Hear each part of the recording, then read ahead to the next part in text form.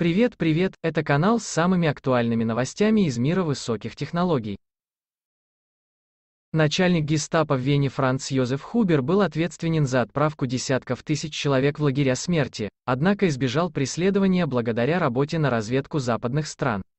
С рассекреченными архивными документами ЦРУ и немецкой разведывательной службы, BND, ознакомились журналисты телеканала ARD и поделились ими с The New York Times. Известно, что Хубера арестовали в мае 1945 года, он провел под стражей три года и вышел на свободу. При этом, к примеру, его старший коллега, начальник еврейского отдела Адольф Эйхман был пойман за границей после побега и казнен. Мы ни в коем случае не забываем об опасностях, связанных с вовлечением в игру генерала гестапо. Мы также полагаем, что, основываясь на имеющейся у нас информации, Хубер может быть выгодно использован нашей организацией, указано в материалах ЦРУ.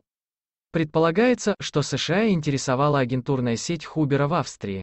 Как уточнил в беседе с ARD историк немецких спецслужб Бадохи Хильхаммер, Бадохи Шелхеммер, с началом Холодной войны американские разведчики активно занимались поиском убежденных антикоммунистов.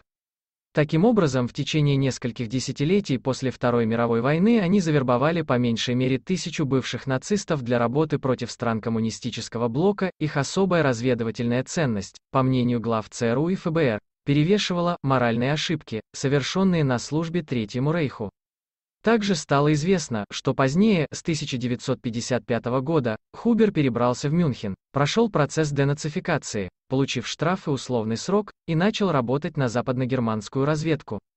Власти Австрии неоднократно направляли в ФРГ запросы на экстрадицию главы венского гестапо, родственники пострадавших пытались привлечь его к ответственности, однако все подобные попытки блокировались ЦРУ и БНД.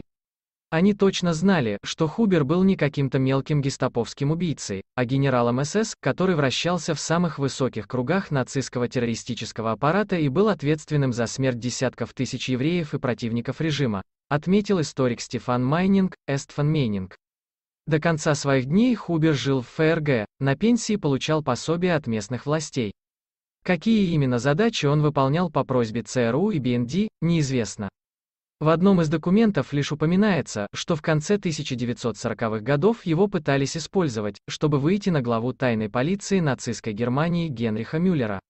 В мае прошлого года сообщалось, что исследователи создали интерактивную карту концлагеря в городе Лось, а также собрали многочисленные подробные свидетельства его узников. По данным историков, в концлагере держали около 3000 польских детей с декабря 1942 года по январь 1944. Заключенным было от 2 до 16 лет. Чтобы скрыть существование концлагеря, его вынесли за пределы польского гетто. Если видео было вам интересным, пожалуйста поставьте лайк и подпишитесь на наш канал.